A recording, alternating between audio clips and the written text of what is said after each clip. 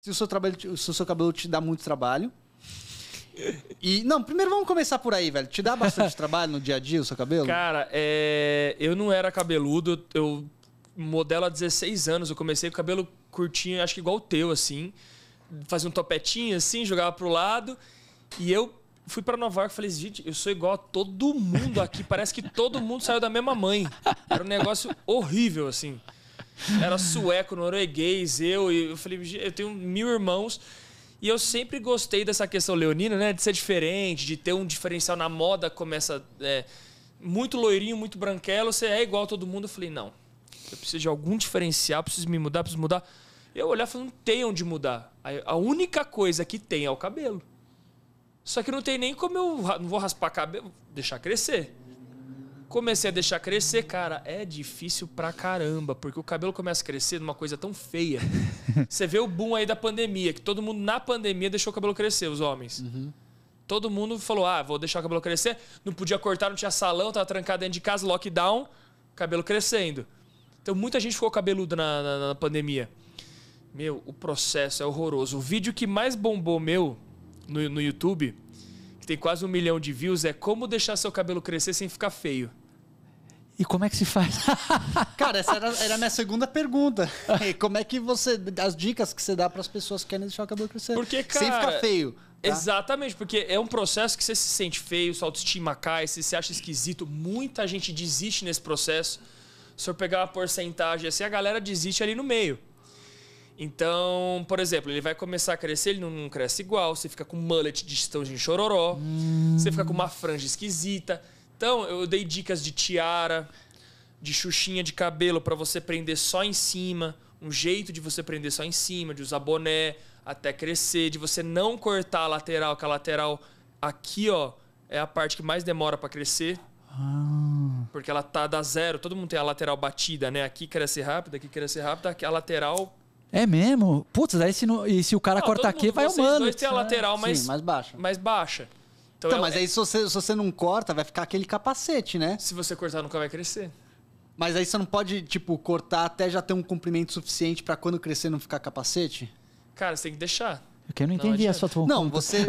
Porque assim, se você deixar crescer tudo uniformemente, vai formar um capacete. Então, primeiro você. É uma, eu tô perguntando, né? Não tô sugerindo, porque eu não sei primeiro você deixaria crescer mais na parte de cima e até atrás, deixar o suficiente para deixar começar, do, começar a crescer do lado sem formar o capacete. Entendeu? Ah, tá, entendi. Porque começa a ter volume aqui, mas em cima vai ter mais volume, então não formaria o capacete. Só que daí vai ter um pouco de mallet se você cortar e deixar vai, aqui é atrás um crescer. É que daí né? o que acontece, você vai estar tá sempre do, com o cabelo amarrado e você vai ter um fade, aquele é um corte que já é, é um corte na realidade, que é um você raspa a lateral e deixa aqui bem comprido. Puta que fica bonito, os caras de Peak Blind usa esse é, aí. Fica então, mas fica bonito porque tá raspado. Quando começar a ficar grande aqui, você vai fazer Exato, o quê com esse chumaço, eu, né? Por isso que eu prefiro deixar crescer uniformemente de uma vez só. Entendi. Que dá, sei lá, seis meses, um ano. Vai crescer de uma vez só e você vai, você vai contornando. Passa pomada, tem, você bota para trás, passa um gel, enfim, você vai contornando aí do, do, do seu jeito até, até ficar bom. Mas eu, eu dei essas dicas porque a galera eu via muito também uma molecada nova, cara. Com autoestima. Tipo, meu pai me zoa, meu pai mandou cortar. Nossa. Estão me chamando de gay. Um monte de coisa. Falei, gente, é, cabelo não tem nada a ver com sexualidade. Pelo amor de Deus. É, então, assim, fui batendo numa tecla de vários preconceitos que tinha sobre cabelo. Eu achei muito legal, porque como eu era só modelo, não tinha voz, agora eu tinha uma voz ativa para falar. Ah, que legal. E a galera escutar e falar: obrigado pelos seus conselhos, você tá me ajudando pra caramba. Aí eu falei sobre vida de modelo, sobre a galera ter autoestima de, de se aceitar cabeludo e tal. Porque é uma questão difícil, assim. É... Eu até mandava, tipo, tinha uma hashtag cabeludos do Alê, a galera mandava os cabelos e tal. É... Porque muda o estilo. Eu mudei o meu estilo ficando cabeludo uhum. de roupa. Uhum. Porque conversa. E aí você não pretende mais cortar? Cara, eu, eu, eu brinco que eu subo. Acho que eu tava falando isso ontem. Eu subo até aqui, ó. Tá. Não acho mais. Que eu que subo até aqui fazendo um corte bem doido, assim, mas acho que é, é o máximo que eu, que eu subo. Acho então, mas te dá bastante trabalho no dia a dia, seu cabelo? Cara, é, é um diferencial também, né? É, você, o cabelo ele é uma parte sua. Da sua personalidade e tal. Não é só um cabelo. Sim. Eu falo que eu mudei o meu estilo de música que eu escutava. É, eu mudei o meu estilo de me vestir, o estilo, cara, até de andar. Se, é, se eu raspar a cabeça, eu vou virar outra pessoa. Eu viro outra pessoa. Eu vou me vestir diferente, eu vou me portar, vou até falar, tipo, é, as caras que eu faço, é tudo diferente. Porque é, é, um aspecto da sua personalidade. Às vezes a gente fala, ah, é só cabelo. Cara, não é. É muda muita coisa. O cabelo ele empodera, uhum. ele.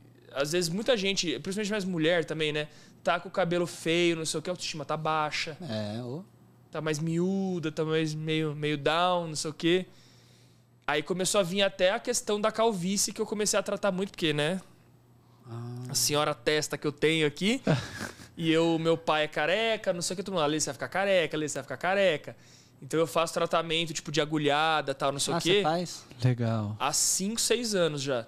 Tá, Qual que é os tratamentos que você faz? É intradermoterapia. Então eu, fa eu fazia, agora estou fazendo com laser até, porque o meu dermato comprou uma máquina de laser, mas eu fazia agulhada de minoxidil com várias outras coisas. Hum. E aí vai crescendo os cabelinhos novos assim, ó.